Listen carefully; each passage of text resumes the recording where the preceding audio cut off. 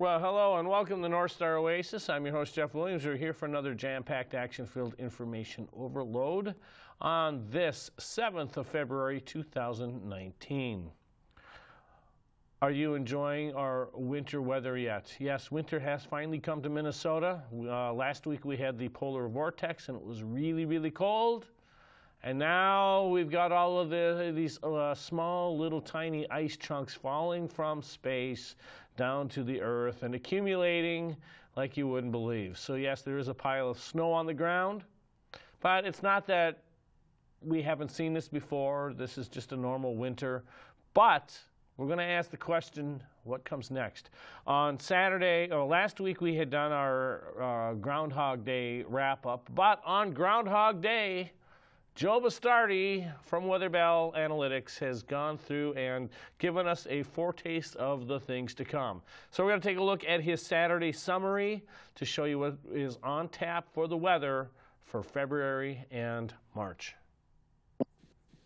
Weatherbell Analytics meteorologist Joe Bastardi. Well, it's Groundhog's Day, and uh, you know I, I like that whole Groundhog's thing. It brings attention to the weather. I've been a keynote speaker out there, Punxsutawney, a couple times, and it really is a very, very good time. But um, uh, the groundhog says that winter's over, and I beg to disagree. Now, uh, in the preseason, we gave you four analogs to look at for this winter.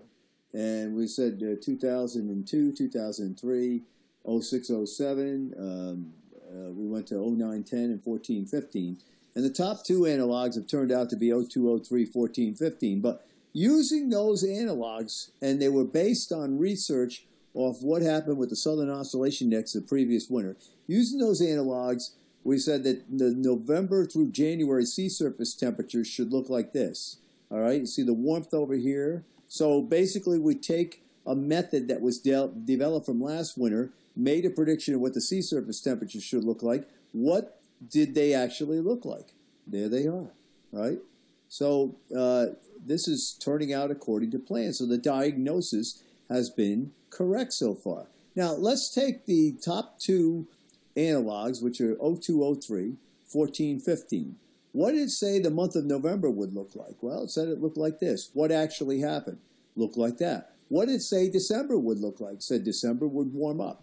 Uh, what did it look like? It warmed up in December.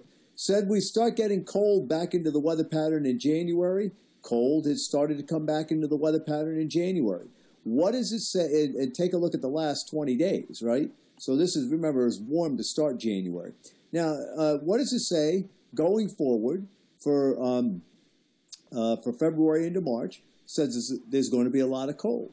So this warm up that's coming is going to come and go. You see, here's the warm up over the front five days. Look at the very cold air. You see in the 6 to 10, it's pushing. And then the 10 to 15, it's dominating the country. And that should run the table into March. All right. So uh, you can see the analogs that we're showing you to get us there. Look at all the snow forecasted here over the next 15 days. Now, how is this going to happen? Well, eh, we get back to our old friend, the Madden-Julian oscillation. Southern Oscillation Index has been pretty close to neutral for the last 30 days. What you want to see is this to drop rapidly. Now, how is that going to drop rapidly? Well, when we look at the pressures across Australia being very low and the other the other uh, site that we look at over here is Tahiti. They're quite low, so you don't get a real big negative southern oscillation. If we want to move this pattern that we're in now, what we need is pressure rises all across Australia, and pressure falls here.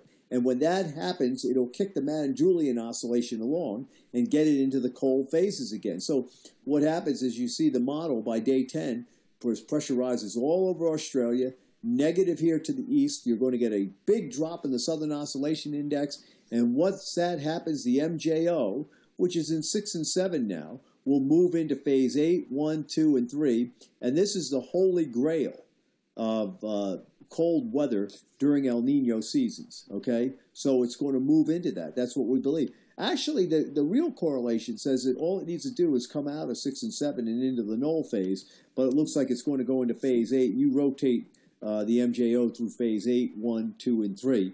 And uh, we'll see what happens, okay? Now, there's been a lot of talk that, uh, you know, about climate change uh, causing this Arctic outbreak. and uh, I, I want to show you something. The the tropics and the energy in the tropics and in the ocean push everything around. They push the Arctic around. It's not the Arctic. Oh, there's some sea ice melt uh, and all this. No, the amount of energy coming out of the Arctic is minute compared to what comes out of the tropics. So I want to show you something here. I've showed this several times, and for those of you who want to listen, you can listen. Okay, if you don't, you don't. There's nothing I can do about it. In 2018, this year, see that strong rotation of the Madden-Julian oscillation into three and four. What happened? We got the severe Arctic outbreak. When we saw this going into three and four early in December, we immediately told our clients that first there'd be a big warm up across the United States, and then after that, we, we get stratospheric warming that would cause the spread down and you get the polar vortex, a, a, major cold air to come into the United States. Now, why does that happen? Well, if you warm the stratosphere, you're expanding the column, means the troposphere contracts, so higher pressure builds for one, and for two, the air gets colder, right? When you expand a column of air, it's warming. When you contract, it's getting colder. It's not brain surgery. So we know when this goes into three and four, all these thunderstorms go off in the Indian Ocean, all right? They have a 10 to 15 day effect. It gets warm in the United States, but they also have a residual effect near and behind them in that the warming that is occurring across the Himalayas then spreads northeast where you get a major sinking air event going on in Asia. And when that happens, you see the warming going on in the stratosphere, and then it spreads over top the pole. And this is exactly what happened. I'm going to show you. Okay, so let's go back to 1984, set up the big 1985 outbreak that if you've been following us here in Weatherbell, we've been talking about for two months how this was setting up like that. All right, there it is. See, it goes in, right? Now let's look at the 1993 event, late December 93, and of course January 94, the cold. There it is. It's right there. 2013, it went in a little bit earlier, but there it is in December again, right? It went in, uh, so it, it's in there in December, and we had the major Arctic outbreak. So that three and four sets off stratospheric warming. The stratospheric warming then steps over the pole. So you look at December 25th this year, Notice where the stratospheric warming is. Now, eventually it gets right over top of the pole, and then the reactions uh, start. The blend of all those years I showed you, there it is, right there. See it? And so it's it's still see how there it's still cold near the pole, but then this spreads up. So what happens is the Madden-Julian oscillation sets off all these thunderstorms in the Indian Ocean here, starts propagating across. The immediate effect in the United States is to try to promote warming you know, 10 to 15 days down the road. But as this continues across, sinking air develops northeast of the Himalayas. And when, when the, air, the air subsides, it warms up in the stratosphere like that. And you get the stratospheric warming event that begins mid and late December and then spreads over top of the pole. And then you get the outbreak.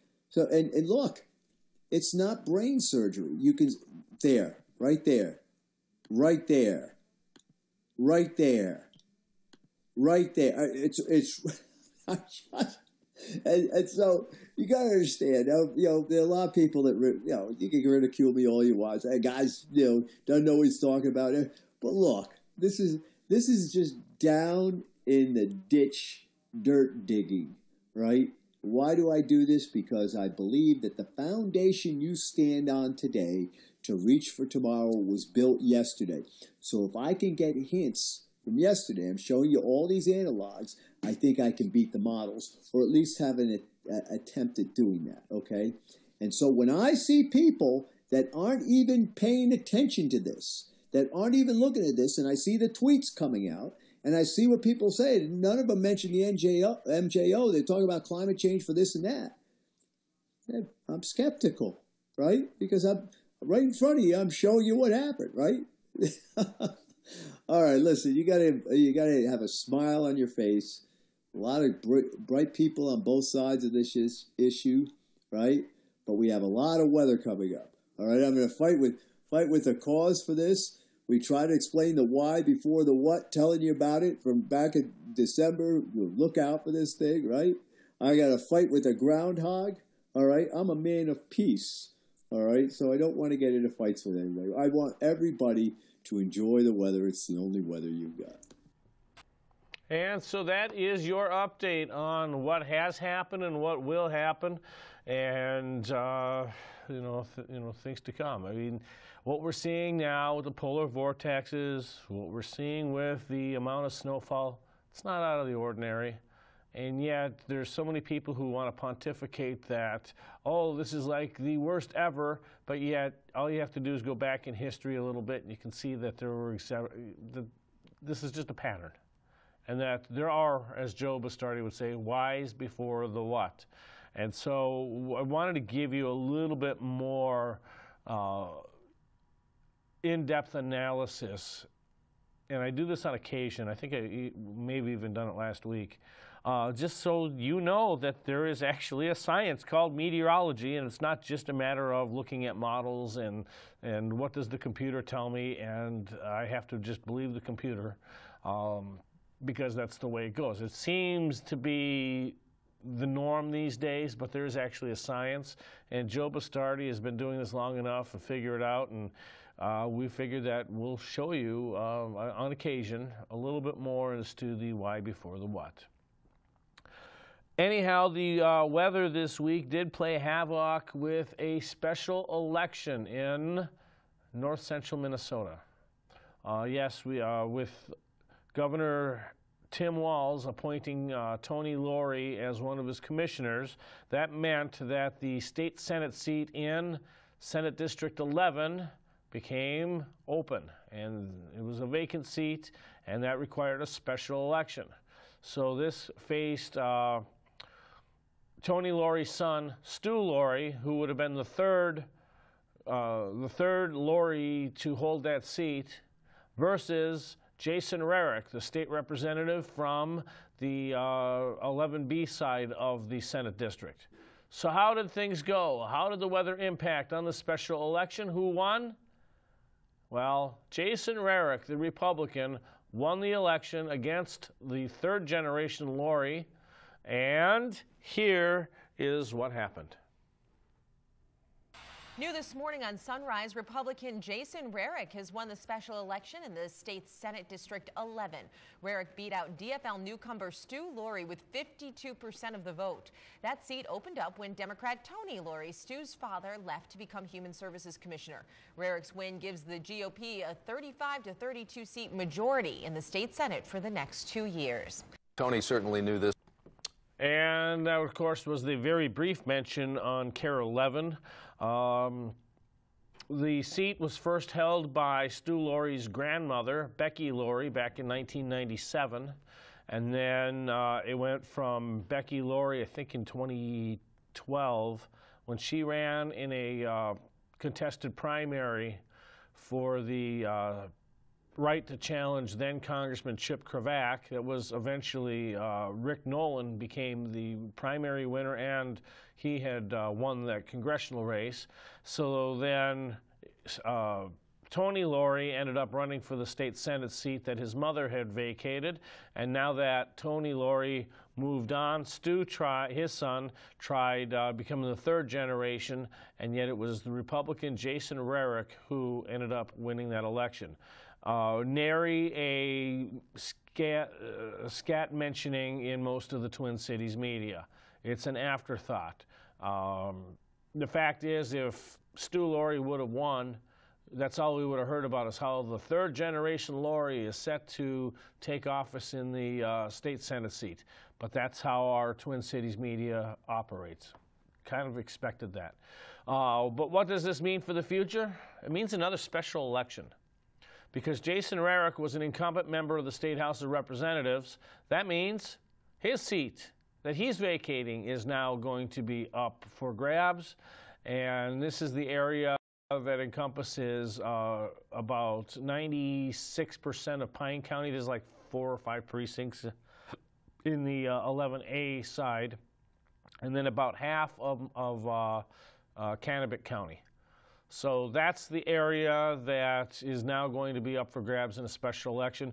Per the state constitution, the governor will have to declare when that special, uh, declare the special election, and then the, uh, according to the formula set forth in the Constitution, uh, it will be 35 days after his declaration. So by the time that the election goes through, a, the Tuesday's election goes through a canvassing committee, uh, goes through the canvassing board and becomes certified, then Rarick has to resign from the state house and then get sworn into the state senate and that's going to take a couple of days. And then uh, after that, it'll probably be another five days to a week before Governor Walz declares the special election. Then you get 35 days from there. So consider that we are in the beginning of February right now. I expect to see the special election either at the end of March or the beginning of April sometime. So if you hear more down the road about a special election around that time, that's just because we have to have another one in order to fill the vacancy created by an incumbent House member winning a seat, a, vacant seat in the state Senate. So that's kind of the news from there. And we do have one other piece of important Minnesota news, especially if you are a sports fan. Uh, yes, longtime Minnesota Vikings quarterback Wade Wilson passed away at age 60. Now, if you are a Vikings fan younger than 35 or even younger than 40, you may not remember Wade Wilson. If you are over 40, then you most certainly remember him from uh, his performance in the 80s and early 90s. So let's take a look at the video here. Uh, Dallas, go ahead and play these next two videos back to back. Tony certainly knew this man, and sad news from the Dallas Cowboys late this afternoon. Former quarterback and assistant coach Wade Wilson died earlier today. Wilson played for the Cowboys from 95 to 97. At that time, he was a backup to Troy Aikman. He was then quarterback's coach for the Cowboys from 2007 till 17. Long stretch. In the last 15 minutes, Cowboys legend Emmitt Smith was on Twitter. He says, I am completely saddened by the loss of my former teammate, Wade Wilson. My thoughts and prayers and my heart go to him and his family during this time. Troy Aikman also tweeted just a little bit ago as well his thoughts. The Cowboys uh, said that Wilson apparently died at his home in Coppell today. The reason is unknown, but it also happened to be his 60th birthday today, Gilma. And never knew the man, but I can tell you this everybody around him has always had nothing but wonderful things to say about Wade Wilson. A lot of respect for him today. Yeah, it's, it, I think it's fair to say a pretty deep loss within the organization today.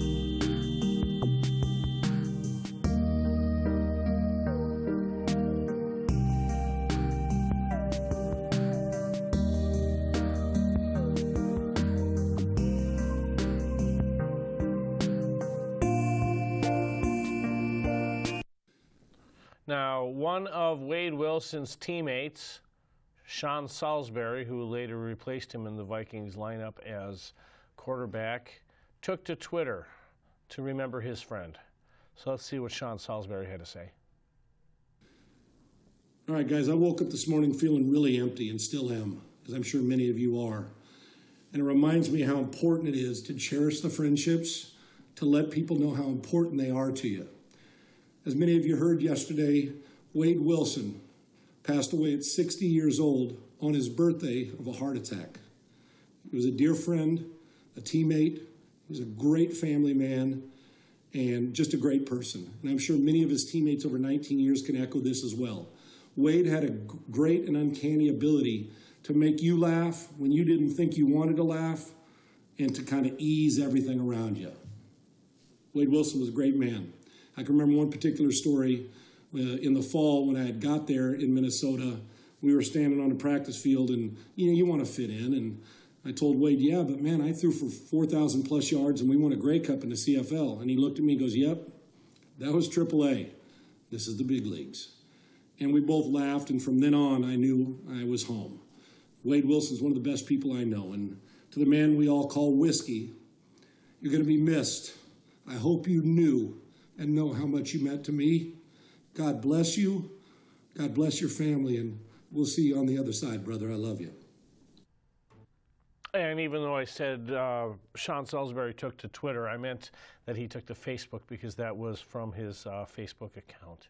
So the Minnesota Vikings uh, family and community, you know, have a lot to mourn this week. Wade Wilson, I thought, was always one of the better ones. I'm not even a Vikings fan; I'm a Packer fan, folks.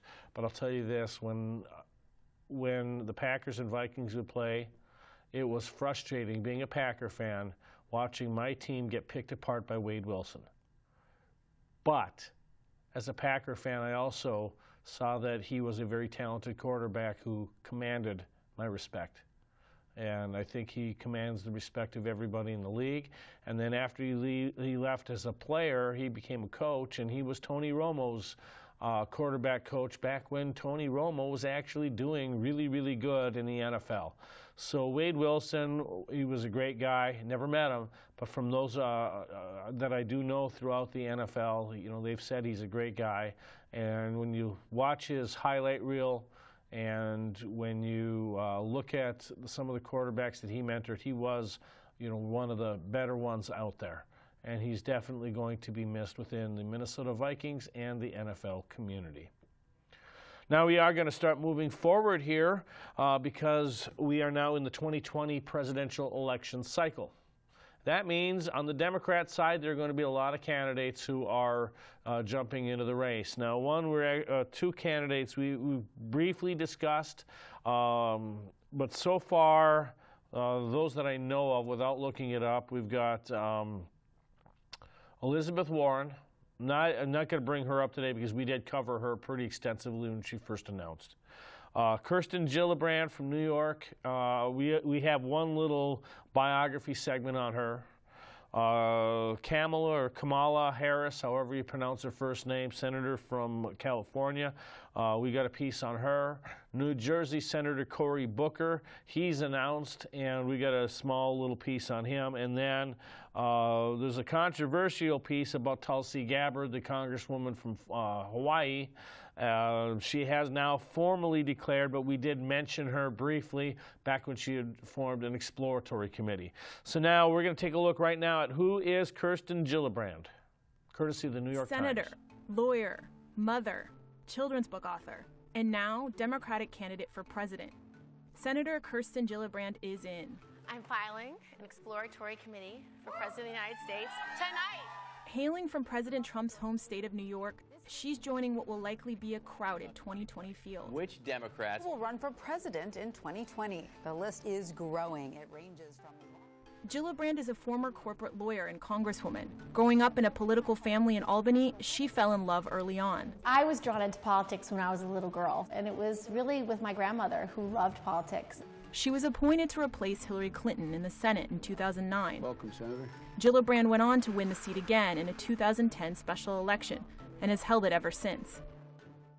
Over time, she has reversed her positions on immigration and gun control. You start off in a different place on immigration. and Now you're more progressive on that. Mm-hmm. On guns, you started off, you know, more kind of pro Second Amendment. Now uh, you went from having an, an, A to an F, F from the yes. NRA. I recognized that there was a lot of things I didn't know, and I should have been fighting for them before. She's now one of the party's most reliably liberal voices.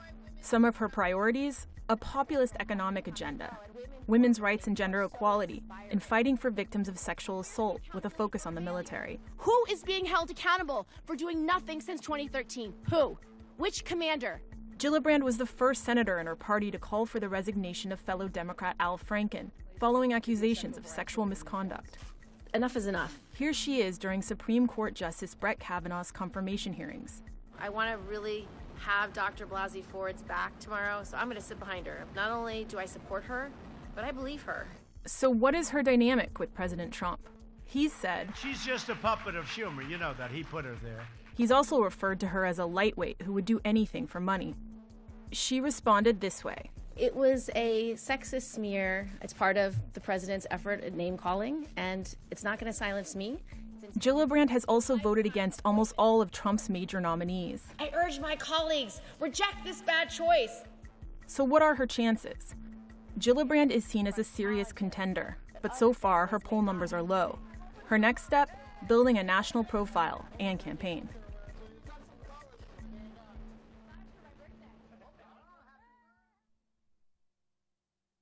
So I take a brief look, uh, now that you know a little bit about Kirsten Gillibrand.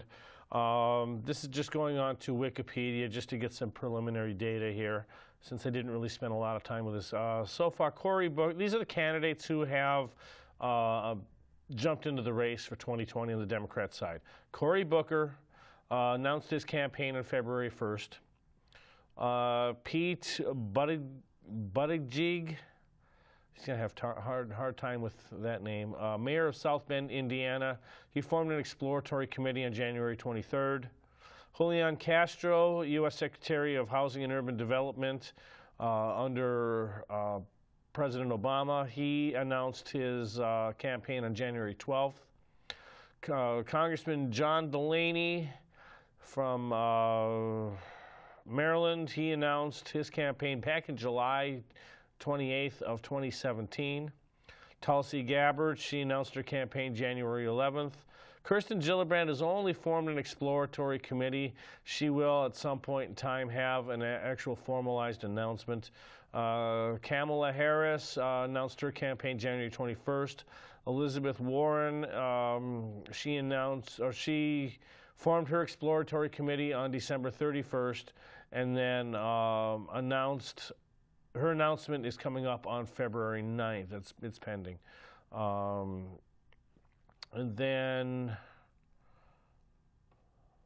we also have Michael Arth, an artist, builder, ar- architectural designer, and political scientist. He's declared, uh, announced his campaign November 4th. These are the minor candidates.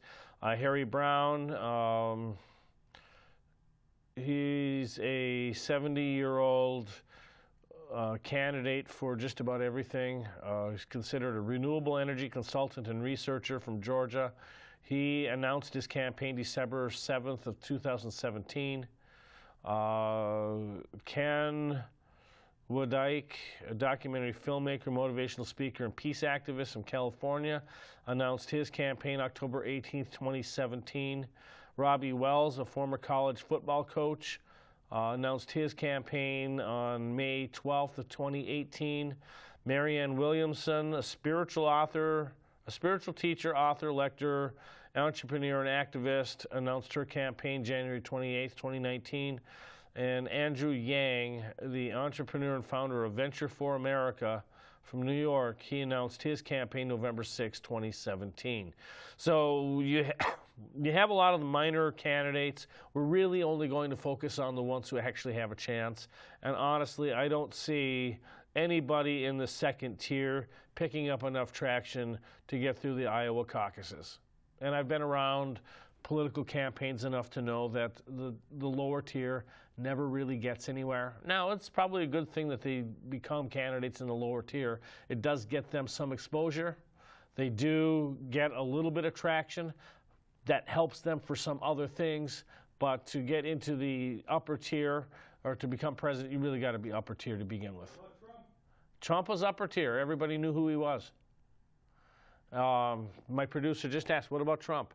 Um, Trump came in with a presence, and that's the biggest thing is if everybody knows who you are, you're upper tier. If Jeff Bezos from Amazon decided he was going to run against Trump and become a Democrat nominee, he would be put into the upper tier because everybody knows him or knows who he is and knows what he did.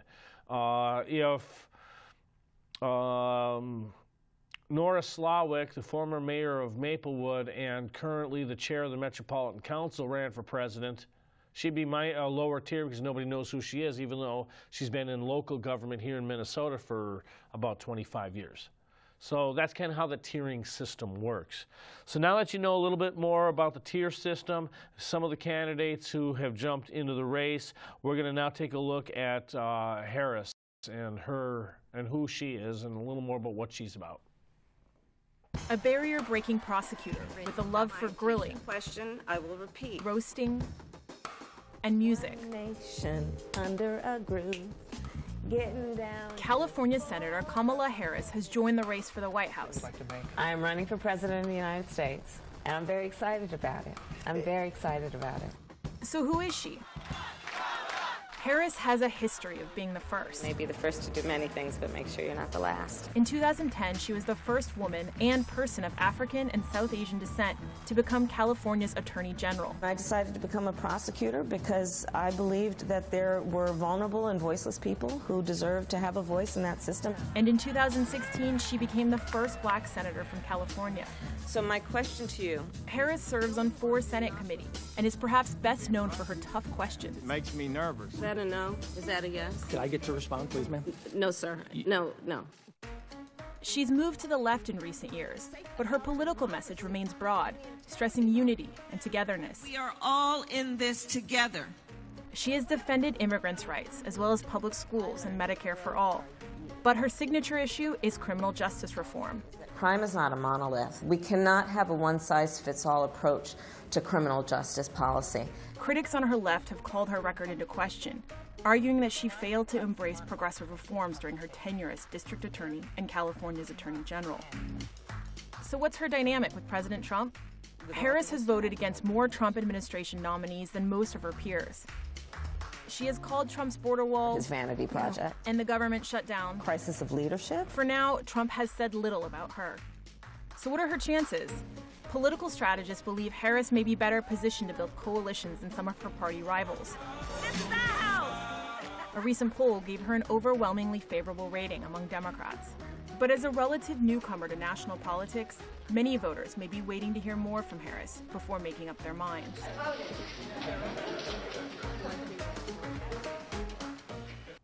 And we're bringing this to you simply so you have a little bit of an awareness as to who the candidates are. Uh, we did this back in 2016, back in 2015 when they announced, uh, because that's politics, and I think that you know I'm trying not to give you my commentary because I have a completely different take on all the candidates. I'm trying to just dial my own personal feelings and opinions and analysis back and just let you get a chance to make your own make up your own mind. And we'll have plenty of time for me to interject my opinion and critique. So that was uh, uh, kamala harris. Now let's take a look at cory booker former mayor of newark new jersey and, and the current u.s senator from new jersey A headline grabbing former mayor with a love of social media who says he's the only vegan in Senate history. Thank you for a vegan mecca. Senator Cory Booker is throwing his hat in the ring for President of the United States. I'm in this race to try to build our nation up. So, who is he? Cory Booker, nice move. Booker is a former college football player and Yale Law School graduate. Mayor Booker, for those who don't know, what's He became a national figure as mayor of Newark by bringing in money and attention to the city. a $100 million challenge grant. And in 2013, he was elected to the Senate. Thank you, New Jersey! Booker is known for coming to his constituents' rescue, literally. The building next door is on fire. Yes, yes. And your first instinct was to go in? Yeah. He ran into the burning building and up the stairs. Also, his upbeat attitude Lead with love. and his public speaking. This is about the closest I'll probably ever have in my life to an I am Spartacus moment. Some of Booker's priorities? So far, criminal justice reform. And he's also likely to focus on racial and gender equality and marijuana legalization. He's been in the Senate for a while, but he doesn't have many signature legislative accomplishments. Booker also has ties to Wall Street, something that might be an issue for the party's more progressive wing. So, how has he taken on President Trump? Booker has been one of Trump's most aggressive critics in the Senate. And it is a failure. For Booker, the Trump presidency poses a Moral moment in our nation. But this approach may fall flat with Democrats, who are energized by their anger toward Trump. For his part, President Trump has said this I mean, take a look at Cory Booker. He ran Newark, New Jersey into the ground. He was a horrible mayor. So, what are his chances? So far, he's polling in the middle of the assumed pack, but it's pretty early. Booker's been building a national profile for a while. He's already traveled to many states that could be key to winning the White House. Well, of course, there's many things and many keys to winning the White House from, for a lot of people. The first thing, of course, is to get the nomination. And that was something that uh, was difficult on the Republican end. Uh, when President Trump became the nominee, he had to outlast 16 other rivals. And the same thing is shaping up on the Democrat side for the right to challenge Trump. The first thing is you got to make sure that you're known and respected and voted for within your party. And then you get to go against Donald Trump. So good luck to all of those candidates so far. And now we do have a piece on uh, Tulsi Gabbard. And before we want to show this piece, and if you've been following the show for any length of time, I do talk about the establishments within the parties. And it's important, I think, that we take a look at who's running the show here because this is a hit piece. We're going to show you a hit piece. This is put out by the Washington Post. The uh, New York Times did the other three. Um, Tulsi Gabbard, Congresswoman from Hawaii, Democrat, announced for president, and now is being attacked. Now, why? Ask yourself, why is she being attacked so soon? You know what the answer is? She upset the Clintons. Yeah, the Clintons? Yes, because she, Tulsi Gabbard, supported Bernie Sanders for the nomination back in 2016. And therefore, there is no way the Clintons are going to let Tulsi Gabbard come anywhere close to becoming the nominee if they can help it. And so here we have a piece from the Washington Post about how Tulsi Gabbard is a controversial 2020 candidate. I'm going to bring this up because there's one other per, one other person who may be seen as a threat to the Clintons, and that would be Minnesota's own Amy Klobuchar, who is planning on announcing on, I believe it's Sunday, uh, let's see, Thursday, Friday, Saturday, yeah, Sunday. Sunday, she's announcing that she's going into uh, putting her hat into the ring uh, for the 2020 nomination. And already we were seeing, we saw a hit piece on Amy Klobuchar that came out of the Huffington Post this week. Uh, pretty much just about the high staff turnover in uh, Klobuchar's Senate office and that she's really, really demanding and tough to work for and is not necessarily well liked by the people who work for her and that, uh, what was the other thing out of the piece? Oh, that um, as a as a uh, U.S. senator, she has bent the Senate ethics rules on having staff do personal errands. It's, I think every senator and every member of Congress at some point in time has, hey, if you're running over there, can you pick me up, pick up this? My dry cleaning's done there, and if you're uh, going to lunch at the place next door, can you swing by? I mean, stuff as innocuous as that can actually become a controversy if people want to be sticklers to the rules, and they usually do that if you oppose them. So I haven't taken a look at uh, Amy Klobuchar's past dealings with Bill or Hillary Clinton, uh, or and that could even be, you know, the Obama team. The Obama establishment might have put out the hit piece on uh, on Amy Klobuchar. Um, but Klobuchar by next week will be in the race. I give it about a 95% probability. In the meantime, take this with a, a, grain of salt, knowing full well that this is politics as usual. This is the stuff that goes on, and I know we're going to be hearing more about the internal tearing down of other Democrats by Democrats, from Democrats for Democrats, because votes are at stake for the right to run against Donald J. Trump for president. So let's take a look at the piece.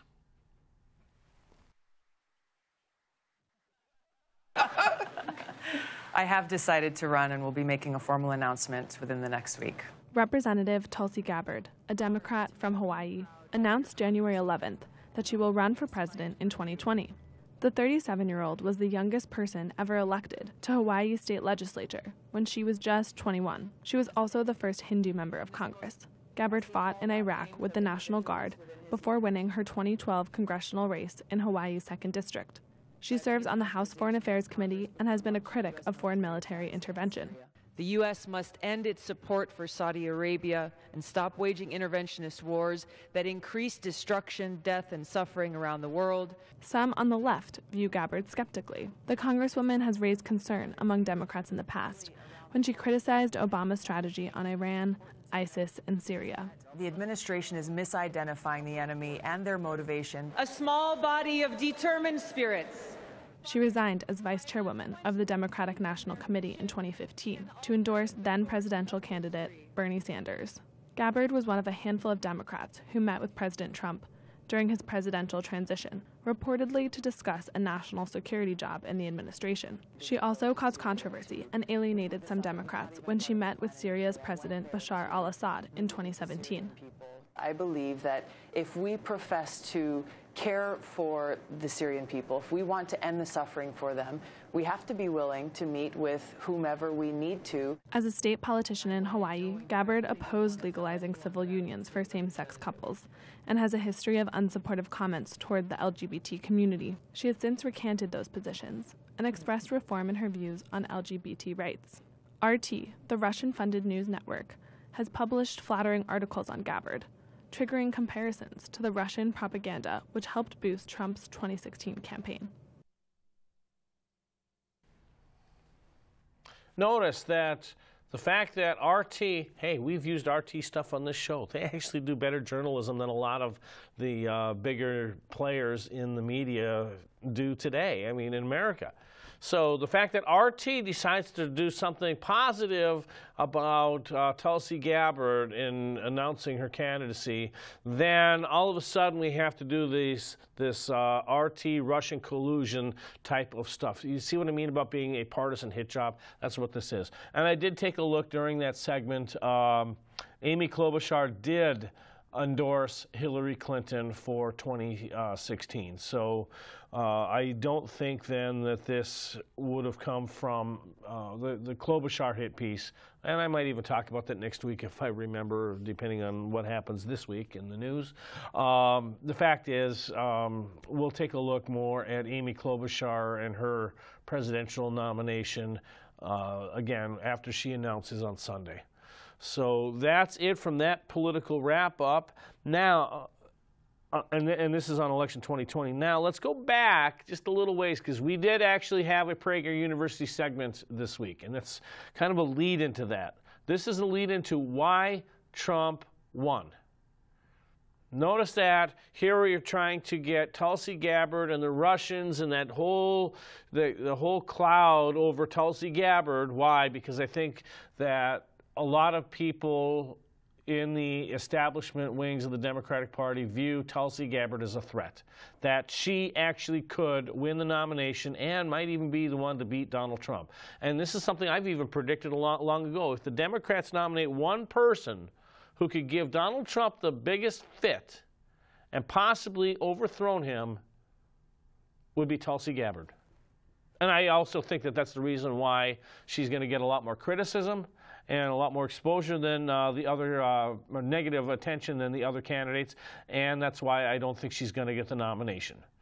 Uh, because I think that uh, a, a Democrat, female, veteran who has experience in the U.S. House, who has some foreign policy experience, who has some domestic policy experience, who actually has a good head on her shoulders, would threaten Donald Trump. I think enough independent voters would vote for Tulsi Gabbard, and that's going to, that going to make matters difficult for Trump. But that also means Tulsi Gabbard comes out more independent than the Democrat establishment that cannot control her. And that's the problem that they're having with Donald Trump right now. They cannot control Donald Trump. The Republican establishment has problems in not being able to control Donald Trump. Trump is going to be Trump. But that is one of the reasons why Donald Trump won. So we're going to take a look at the Prager University analysis as to why Trump won, and we'll see how this uh, stacks up with everything else that you know about him and the race for 2020. I was elected to the Parliament of Canada seven times, three times as Prime Minister. I did not expect Donald Trump to be elected President of the United States. But unlike most observers, I did think it was at least possible. Why?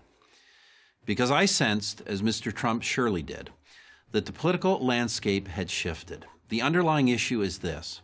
Over the last few decades, thanks to globalization, a billion people, mostly in the emerging markets of Asia, have lifted themselves out of poverty. This, of course, is a good thing. Yet in many Western countries, the incomes of working people have stagnated or even declined over the same period. In short, many Americans voted for Donald Trump because the global economy has not been working for them. We can pretend that this is a false perception. We can keep trying to convince people that they misunderstand their own lives. Or we can try to understand what they are saying and offer some solutions. I prefer the latter approach. Let me begin with this. In our contemporary world, there are, as British journalist David Goodhart describes it, those who can live anywhere and those who live somewhere. Imagine you work for an international bank, computer company, or consulting firm. You can wake up in New York, London, or Singapore and feel at home. Your work is not threatened by import competition or technological dislocation. You vocally support all international trade agreements and high levels of immigration. You're one of those who can live anywhere. There are a lot of those people, but there are a lot more completely unlike them. Let's say you're a factory worker, small business person, or in retail sales. Your work has been disrupted by outsourcing, cheap imports, and technological change. Your children attend the local schools and your aging parents live nearby. Your social life is connected to a local church, sports team, or community group. If things go badly at your company, or if policy choices by politicians turn out to be wrong, you can't just shift your life to somewhere else. Like it or not, you depend on the economic policies of your national or state government. When it doesn't come through for you, you're not happy. And when it ignores you entirely, you get angry. It's easy for Anywheres to dismiss these concerns, but the Anywheres faith in global solutions and multinational political bodies is founded more on fantasy than fact. The fact is, the critical functions of laws and regulations and monetary and fiscal stability, among other things, are provided by nations, not global institutions. The nation, with all its flaws, is a concrete reality. The global community is little more than a concept.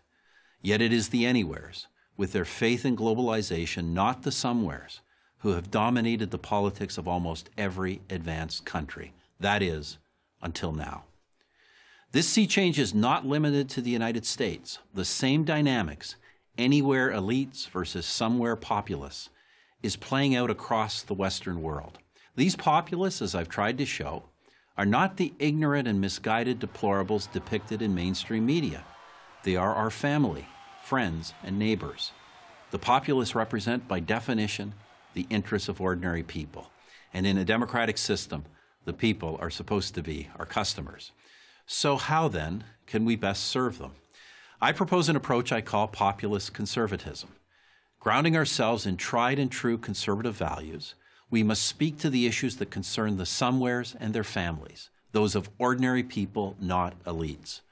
Those issues include market economics, trade, globalization, and immigration. In addressing these issues, conservatives should remain pro free market, pro trade, pro globalization, and pro immigration. Going in a completely opposite direction in any of these areas is a mistake. But being pro market does not mean that all regulations should be dismantled or that government should never intervene to protect workers. Being pro trade does not imply that every trade agreement is a good one. Being pro globalization should not entail abdicating loyalty or responsibility to our country and our local communities. And being pro immigration should never mean sanctioning illegal immigration, erasing our borders, or ignoring the interests of our citizens. I call this populist conservatism, but it's really just conservatism. Conservatism is about seeing the world as it is. It's also inherently populist because it is about serving real people rather than theories. I'm Stephen Harper, author of Right Here, Right Now Politics and Leadership in the Age of Disruption for Prager University. And there is a lot of truth to that segment, a lot of truth because when President Trump went down the escalator when he announced his candidacy, it was the forgotten man, as he said in his inaugural address, that he was concerned about. It was the American worker. It was the amount of money that we were taking in from tax collections, uh, you know, from uh, tariffs.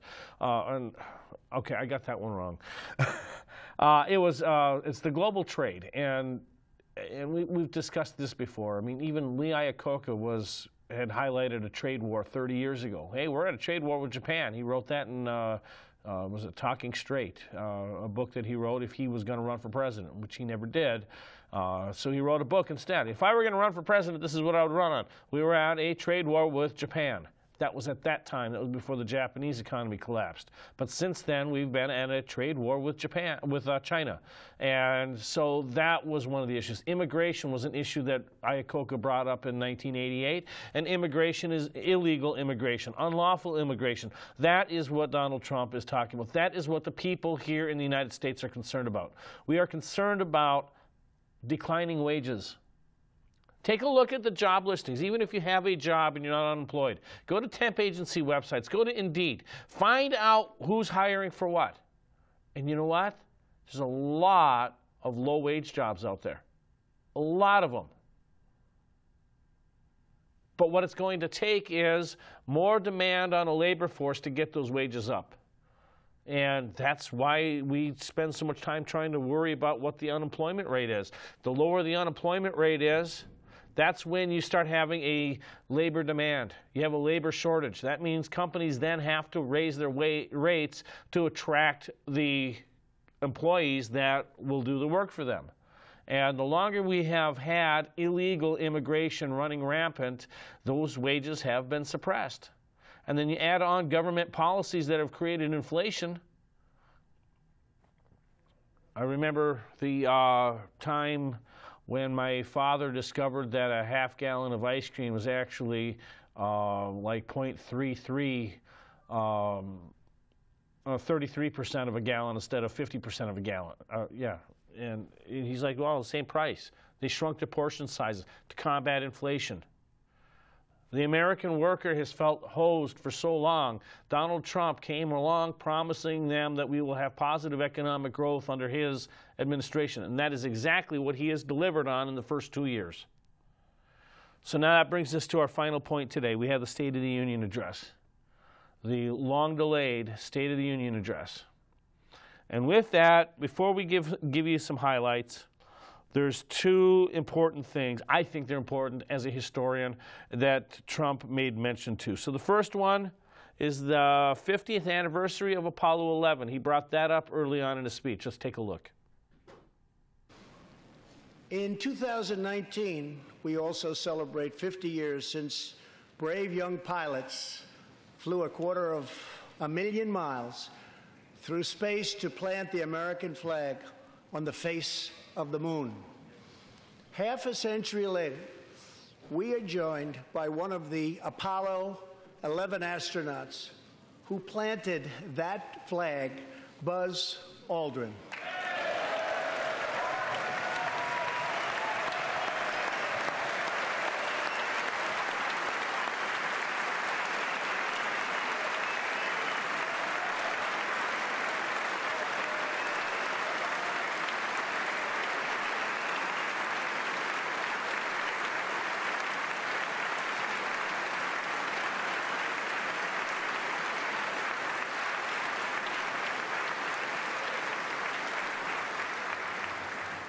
Thank you, Buzz. This year, American astronauts will go back to space on American rockets.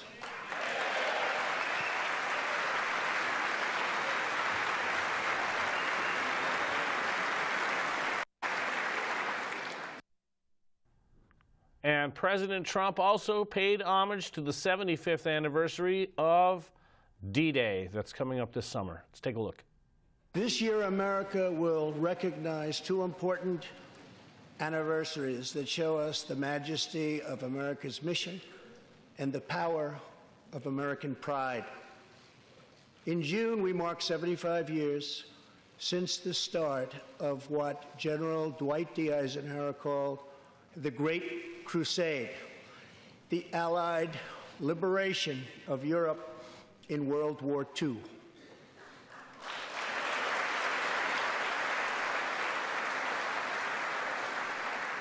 On D Day, June 6, 1944, 15,000 young American men jumped from the sky, and 60,000 more stormed in from the sea to save our civilization from tyranny.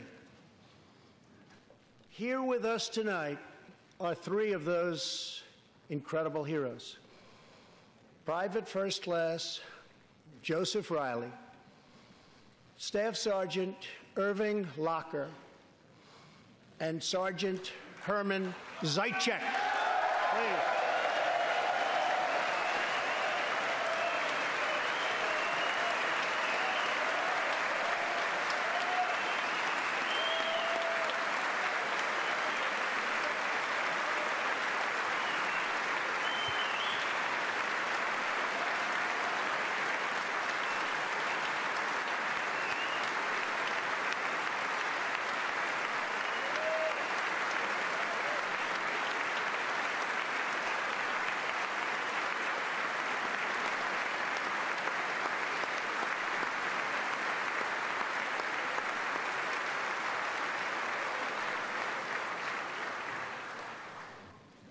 Gentlemen, we salute you. Members of And with that, of course, would be the natural time for highlights of the State of the Union address. but guess what? We're out of time. So, what does that mean?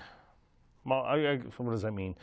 First of all, as somebody who studied both military history and space history, I was really, really gratified to see Buzz Aldrin get his due and to be able to see the D-Day veterans get their due. Uh, that was that was always um, special when these folks uh, are properly recognized. Unfortunately, uh, Michael Collins wasn't there. Michael Collins was on uh, the command module pilot for Apollo 11. It would have been nice to see him. But to my understanding, he has not been of the best of health in the last uh, year, and so that could have been one of the reasons why he wasn't there. But still, to be at the State of the Union address marking the 50th anniversary of Apollo and the 75th anniversary of the D-Day invasion, I really have to give the president some uh, props for that. And yes, if President Obama would have done this, I would have given the same props to Obama, uh, simply because I do believe that uh, these people do uh, have earned their, that recognition. We are not going to go through highlights of the State of the Union address today because actually I didn't even get a chance to watch the entire speech. That was when the results are coming in from Senate District 11 special election. I felt at that time that I can always go back and review the State of the Union address. I just haven't had a chance to do that yet. But it's snowing out, so I might just do that tonight. Uh, in the meantime, what we are going to do is leave you with the United States Army's band, Pershing's Own, with Hail to the Chief.